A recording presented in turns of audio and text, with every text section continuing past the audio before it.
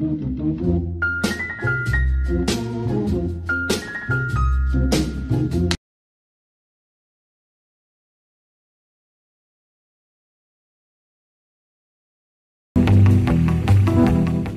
en Cine en Cine pasamos la mañana con el actor José Luis García Pérez.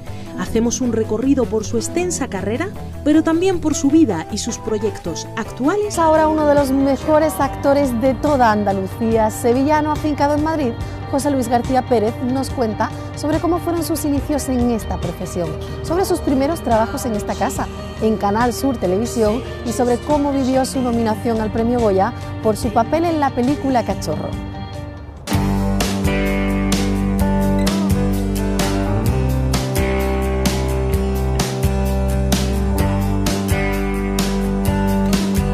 Soy José Luis García Pérez y soy actor.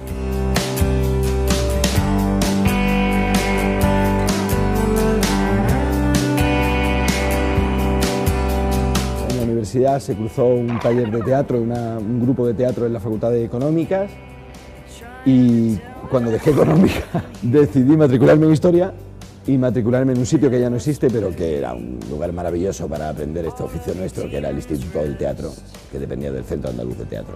¿Soy yo el único que empieza a encontrar todo esto desagradable? No hay dos mujeres iguales. Eso sí que es verdad. Estar en Plaza Alta eh, era la raíz de todo lo audiovisual o de la mayor parte del audiovisual que luego ha existido en Andalucía. ¿no? Hacía un personaje que se llamaba Eladio, era el, el punto cómico de la cosa. Comprar este hotelito no deja de ser una opción. ¿A cuánto crees que valdría, Álvaro? Déjame en paz. Oye, Ladio, ¿tú sabes ya cuánto te cae? Tito Joao me lo ha dejado todo. Millones y millones y millones de... de dinero. Cruzeiro. Eladio y compañía, que yo creo que se le cambió el nombre durante el tiempo que estuvo, o durante la emisión de la serie, se llamó Castillos en el Aire. Pues ese fue mi papel, primer eh, papel protagonista y el primer papel de mucha gente, porque en esa serie estaba el trío prota, digamos que era Belén López, Juan Malara y yo, pero estaba Paco León, estaba Paco Tous, estaba la mayor parte de los protagonistas de las series de televisión de hoy día, o sea que...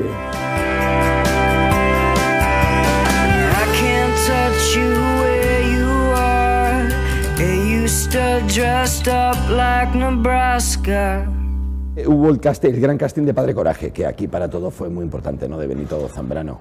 A, mí me dio la oportunidad de conocer a Miguel Albadalejo, que estaba buscando un personaje, un actor para hacer el prota de su película Cachorro, y vio esa película y yo eh, estaba más orondo.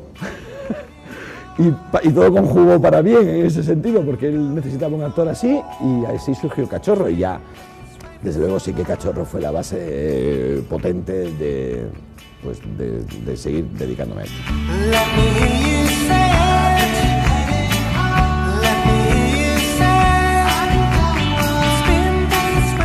Me había ido de viaje a mm, Marruecos. Encendiendo el teléfono, escuchando los mensajes, había un mensaje de un tipo diciéndome que Miguel Albadalejo me estaba buscando. Pues me quedé un poco a cuadros primero y, con muchas, muchas, muchas ganas. Le debo mucho yo a la película y mucho a Miguel Albadalejo, estoy seguro. ¿Te habrás dado cuenta de que es gay? Violeta, por favor, no digas tonterías. ¿Pero qué pasa? Es mi hijo y es gay. Y como no soy una madre retrógrada, soy muy feliz y lo quiero mucho. Tú eres una pesada como todas las madres, pero si tienes ocho años. Nueve, tiene nueve años y es gay de nacimiento, como tú. En el año 2004 me nominaron a los Goya por el papel que hacía en Cachorro. Hay algo, yo creo, en el ego de cada uno que también cuenta. Y ese mismo ego hace que te haga muchísima ilusión cuando te nominan y te pases un mal ratito cuando no te lo dan.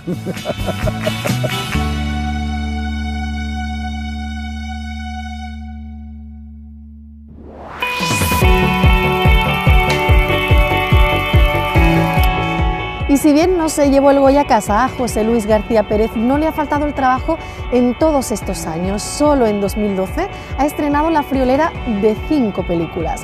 Nos cuenta ahora cuáles son los papeles que más han marcado su carrera profesional y cuál es la debilidad que siente al ser dirigido por una mujer.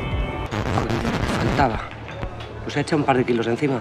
Mi manera de entender el trabajo y la vida es muy entusiasta o muy intensa, la parte positiva de la intensidad, y desde esa intensidad vivo cualquier cosa que hago. Y, y lo digo de verdad, no hay ningún papel. Ha habido películas o temáticas que, al, que sí me han tocado mejor personalmente, ¿no? Y ahí hablábamos, evidentemente, de Cachorro antes, por muchas razones, sobre todo por ser la primera película, pero después ha habido cosas, películas como Retorno a Hansala de Chus Gutiérrez, que fue un viaje, en la película es un viaje, y ese viaje yo creo que lo hicimos todo el equipo también de alguna manera, hasta, hasta Hansala, el lugar donde parte la mayor parte de la gente que luego se sube a una patera.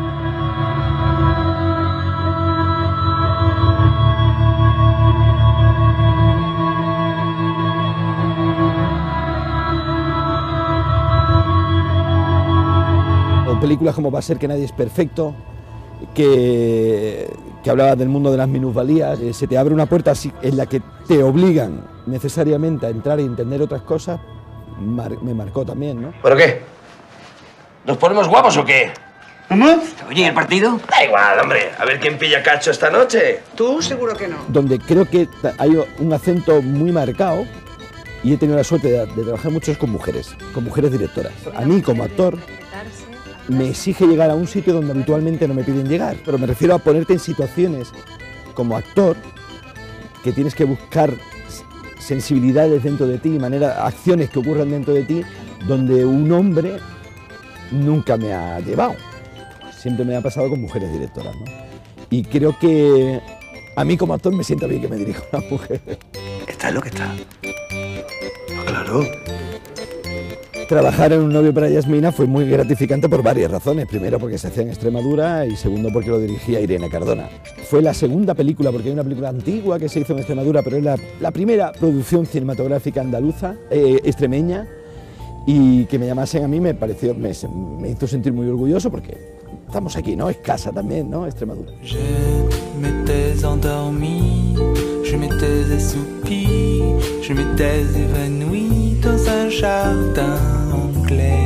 Que parezca un accidente, fíjate, con Carmen Maura y Federico Lupi.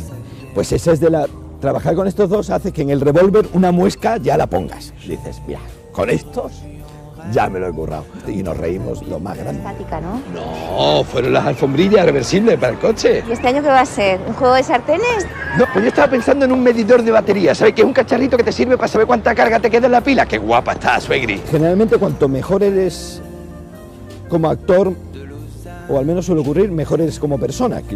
Y hace colación esta lo que decíamos de que uno no se vuelve tonto, sino que ya venía tonto de casa, con el mundo de la fama, como decíamos antes, pues yo creo que con esto algo parecido. Si, si tú te crees más o menos importante porque te tapen con un paraguas porque está lloviendo, no te das cuenta que lo que no quiere que se moje es ni el maquillaje ni el vestuario.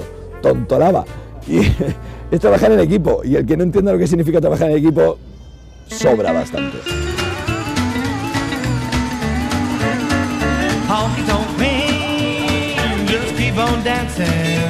Le pido al futuro que esto cambie, en general, y lo pido para todos un poco.